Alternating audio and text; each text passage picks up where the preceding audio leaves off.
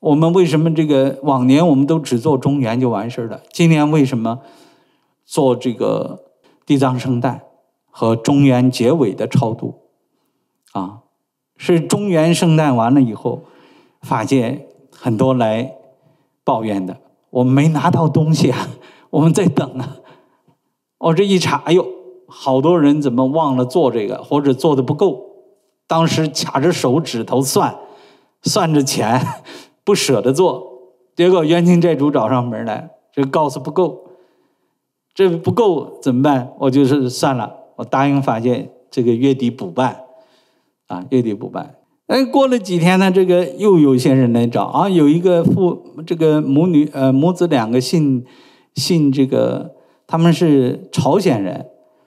朝鲜人他是做八月十五中元，他跟我们这个华人做七月十五不一样。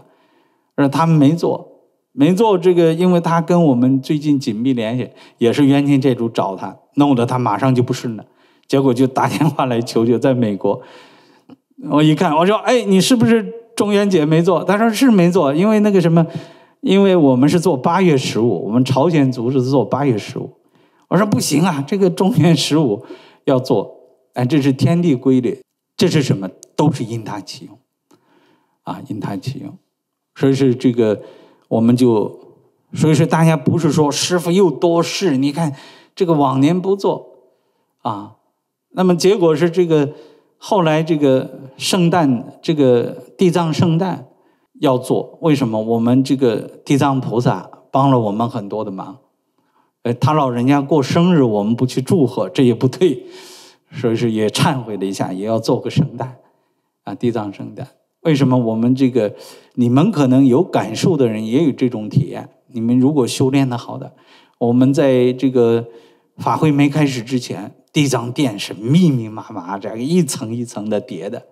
黑压压的。包括我们的地下室、这个停车场那些地方，这来自全世界的黑压压的这些王者啊，密密麻麻的，这都通过地藏殿的通道安排着啊。都是他老人家在帮我们招呼，结果是那一天超度完了，再一关亮晶晶的，没有了，没有了。所以是这个地藏菩萨与我们的恩德十分重大，所以大家要记住来参加这个地藏圣诞啊，这个这都是因他启用，都不是说我们多事要做这个啊。结果做了这个决定，你看从我们上次做法会。